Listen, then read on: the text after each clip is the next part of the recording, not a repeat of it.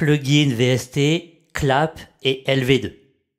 Il existe un autre écran euh, de préférence que vous aimerez sûrement euh, visiter avant de commencer. Ce sont les plugins VST. Comme pour les préférences audio, Reaper possède plusieurs pages d'écran de préférence de plugins, mais la plupart peuvent, au moins au début, hein, être laissés à leurs paramètres par défaut. Cependant, si vous possédez une collection de plugins VST et ou VSTI, y compris les VST3 d'ailleurs, eh bien Reaper doit savoir où les trouver. Notez que les plugins VST3 doivent être conservés dans un ou plusieurs répertoires distincts des autres plugins. Choisissez la commande Options, Settings. Et ici, on va scroller, on va descendre jusqu'à VST.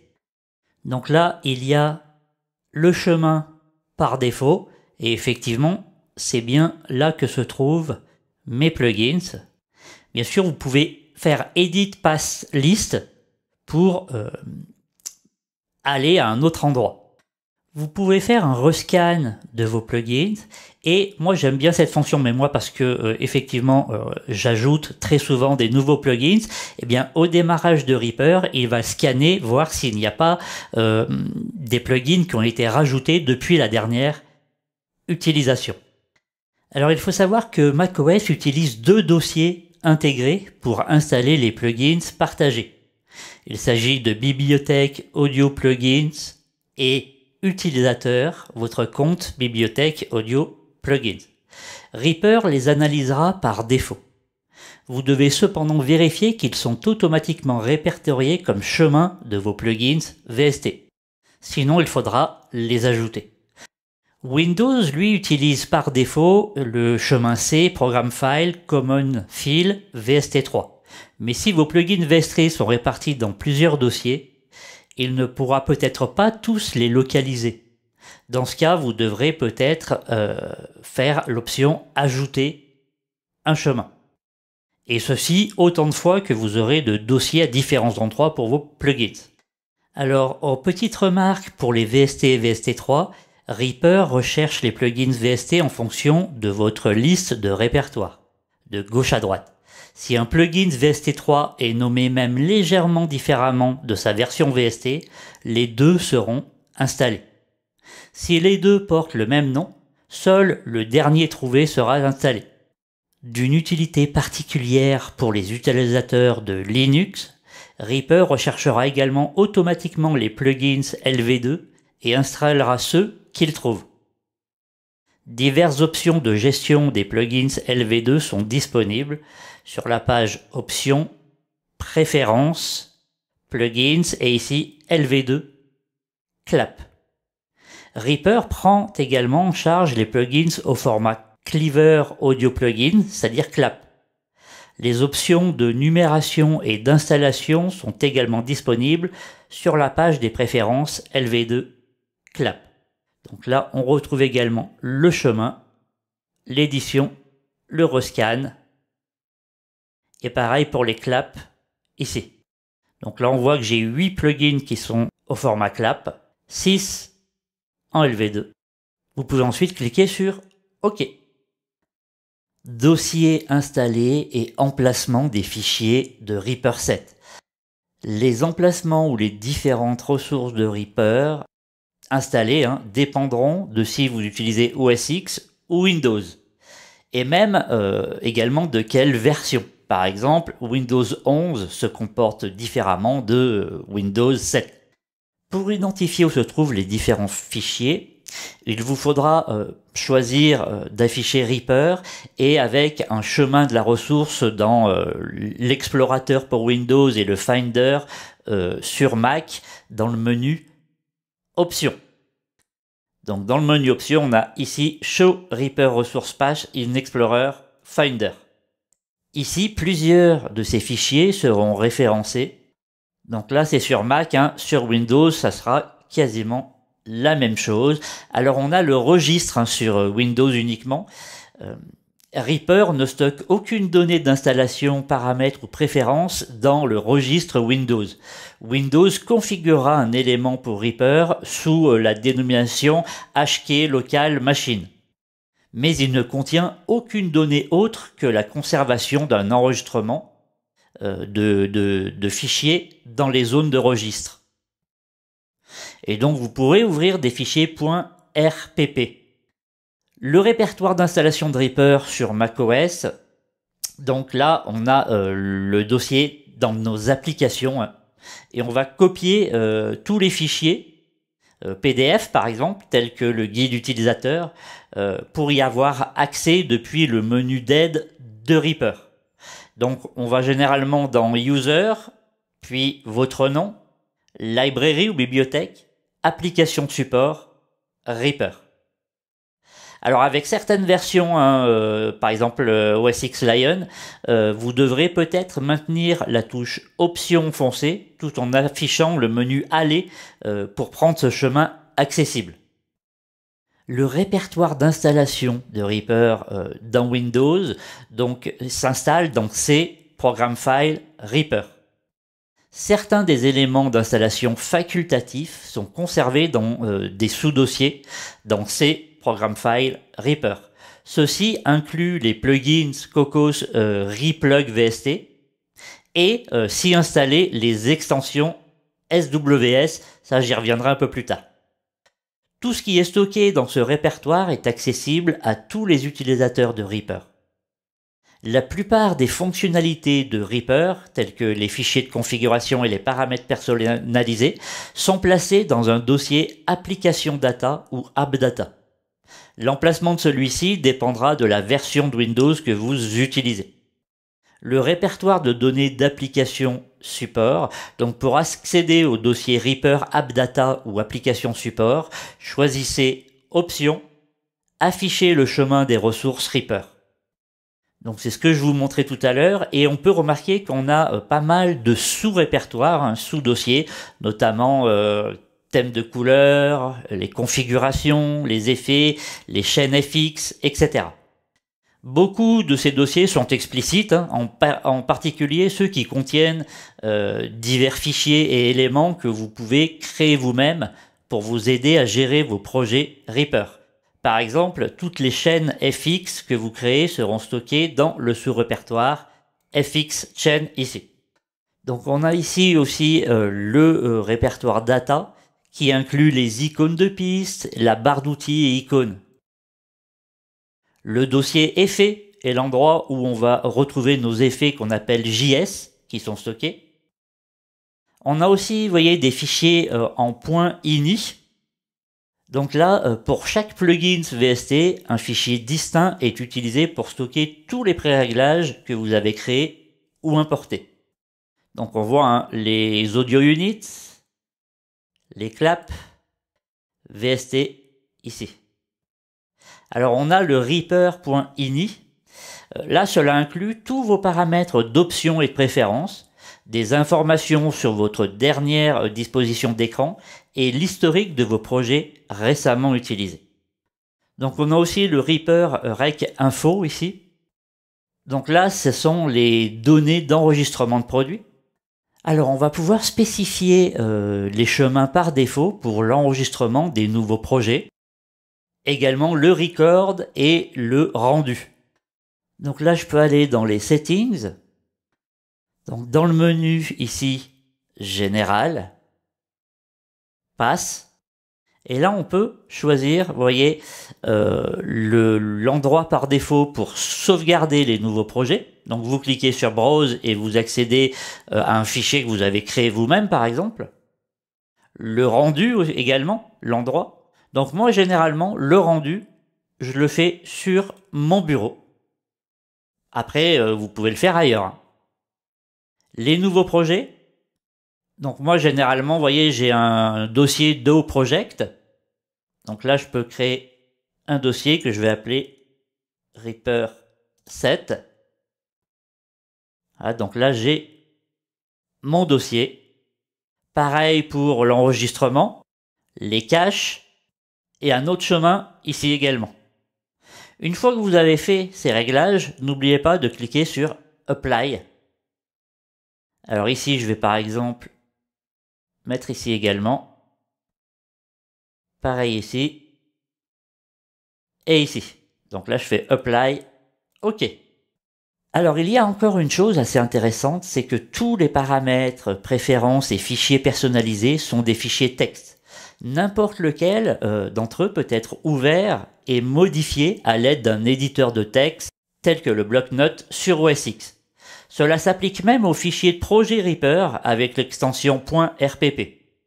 Bien sûr, vous n'aurez probablement jamais besoin de le faire, et si vous devez le faire, euh, bien, euh, faites toujours une copie du, fichier texte en question. Localisation et pack linguistique. Il va être temps maintenant de passer notre Reaper 7 en français si vous le souhaitez. On peut sélectionner un module linguistique que Reaper utilisera pour ses menus, boîte de dialogue, infobulle, etc. La langue par défaut, c'est l'anglais. Les packs de langue sont gérés depuis la page générale des préférences de Reaper. Je vais aller donc dans les settings, général. Très bien, donc ici on voit que j'ai que l'anglais qui est proposé. Alors ce que je vous conseille, c'est pas forcément de cliquer sur Download Language Pack, mais tout simplement vous rendre sur le forum cocos.com, dans euh, ici Reaper Non-English Speaking User Forum, forum de Reaper en français, et là vous avez le Lang Patch en français, donc avec la version 2023. Vous cliquez ici télécharger sur la page dédiée et on va télécharger ici le Lang Pack pour obtenir la traduction de Reaper en français. Donc vous avez ce fichier ici, vous double-cliquez dessus et vous avez Install Lang Pack. Vous faites OK. Le pack est installé. Alors maintenant, pour switcher de langue, il va falloir redémarrer Reaper 7. J'ai redémarré mon Reaper 7 et vous voyez que maintenant c'est tout en français. Ça c'est plutôt sympa. Bien évidemment, euh, si vous voulez une autre langue, vous pouvez répéter l'opération. Désormais pour le tutoriel, eh bien j'utiliserai cette version française. Sauvegarde des paramètres. Donc on a déjà vu, on a découvert certains paramètres et préférences de Reaper. Au fur et à mesure eh bien, de notre progression, on veut en découvrir d'autres. On peut donc sauvegarder ces paramètres et préférences à tout moment. Cela peut être une bonne précaution euh, à prendre contre ben, une panne de système et euh, peut également être utilisé pour garantir des installations Reaper identiques sur deux machines ou plus. Et donc pour ce faire, on va retourner dans les préférences de Reaper et ici vous avez exporté la configuration. Donc vous cliquez dessus et voyez que vous avez ces données vous pouvez cocher et qui seront inclus dans votre exportation de sauvegarde. On peut vraiment tout mettre hein, comme ceci et vous cliquez sur sauvegarder. Donc là, vous pouvez donner un titre, je sais pas moi, Reaper 7 sauvegarde 01. Et vous pouvez choisir des tags si vous voulez, et puis où vous allez sauvegarder. Moi, je vais sauvegarder dans euh, l'endroit euh, par défaut. c'est sauvegardé. Si un jour vous avez un souci, eh bien vous pourrez du coup venir importer une configuration directement. Donc ça, je vous conseille de le faire. Allez, une fois par euh, une fois par mois, ça peut être ça peut être sympa. Hein. Exécuter Reaper 7 sur une clé USB. Vous pouvez installer Reaper 7 sur un périphérique flash USB ou un autre lecteur externe. Cela garantit par exemple que si vous vous absentez de chez vous euh, ou de votre lieu de travail habituel, eh bien vous pouvez emporter votre clé USB ou disque dur externe avec vous, la brancher sur un ordinateur et c'est parti. Avant de pouvoir installer Reaper sur une clé USB, il est logique de commencer par euh, l'installer sur votre disque dur. Lorsque vous installez ensuite Reaper sur un périphérique externe de cette manière, tous vos paramètres, préférences, etc. sont également migrés. La méthode d'installation est différente pour les utilisateurs macOS et Windows. Pour macOS, vous insérez la clé USB dans le port USB. Vous créez un nouveau dossier sur euh, ce lecteur flash, hein, je sais pas moi, que, comme vous voulez. Hein. Dans ce dossier, vous allez créer un fichier de texte vide que l'on va appeler reaper.ini. Vous ouvrez le dossier Mac contenant le fichier image disque Reaper en .dmg. Hein. Euh, il s'agira probablement euh, du dossier téléchargement. Vous double-cliquez sur ce fichier pour l'ouvrir. Vous faites glisser et déposer l'icône Reaper dans le nouveau dossier du lecteur flash. Alors il existe un grand nombre hein, de fichiers à transférer, ça peut prendre quelques minutes. Pour Windows, vous allez insérer votre périphérique externe dans un port USB disponible de votre ordinateur. Euh, notez que sa lettre de lecture peut être E, F, G, H, etc. Cela dépendra du nombre de disques durs internes, de partitions de disques, de disques durs externes euh, que vous avez déjà installés. Vous allez double-cliquer sur le fichier d'installation de Reaper pour démarrer le processus d'installation. Vous cliquez sur J'accepte, vous avez une fenêtre Choisir l'emplacement d'installation, donc vous activez l'option d'installation portable vous cliquez sur Parcourir, sélectionnez votre clé USB et cliquez sur Créer un nouveau dossier. Nommez le dossier par exemple Reaper. Vous appuyez sur Entrée. De retour euh, à l'écran, vous suivez le processus d'installation de manière habituelle. Attendez que les différents fichiers soient installés. Il y a beaucoup de fichiers, ça peut prendre quelques minutes. Option du menu Démarrer de Reaper pour Windows uniquement. Alors normalement, pour démarrer Reaper 7, euh, vous pouvez simplement double-cliquer sur le raccourci de votre bureau Windows. Ceci aura pour effet de démarrer euh, Reaper conformément à vos préférences et paramètres existants. Seulement, il est également euh, bien de connaître les autres options disponibles dans le menu Démarrer de Windows. Donc vous cliquez sur le bouton Démarrer, puis tous les programmes, puis Reaper ou Reaper X64 euh, pour être présenté avec un menu déroulant. Type de fichier Reaper. Comme tout autre programme, Reaper 7 crée une série de fichiers qu'il utilise pour stocker son travail. Alors on a les points RPP, c'est le fichier de projet Reaper. Donc ce fichier est le cœur de votre projet. Il contient toutes les informations sur vos morceaux, vos médias et leurs paramètres les fichiers .rpp sont stockés au format texte. On a les .rpp-back, donc ça c'est un fichier de sauvegarde du projet. Lorsque vous enregistrez un fichier de projet existant, la version précédente est enregistrée avec l'extension .rpp-back. Vous pouvez récupérer un projet à partir de son état précédent en ouvrant le fichier de sauvegarde. On a les .rpp-undo. Donc c'est le fichier historique d'annulation. Ce type de fichier sera créé si l'option permettant d'enregistrer euh, l'historique d'annulation avec vos fichiers de projet est activée. Donc ça, pour ce faire, vous allez dans Settings, dans la section Générale, et vous avez ici la possibilité de cocher Sauvegarde l'historique d'annulation avec les fichiers de projet, fichier RPP Undo. Donc vous cochez ceci, vous n'oubliez pas de faire Appliquer.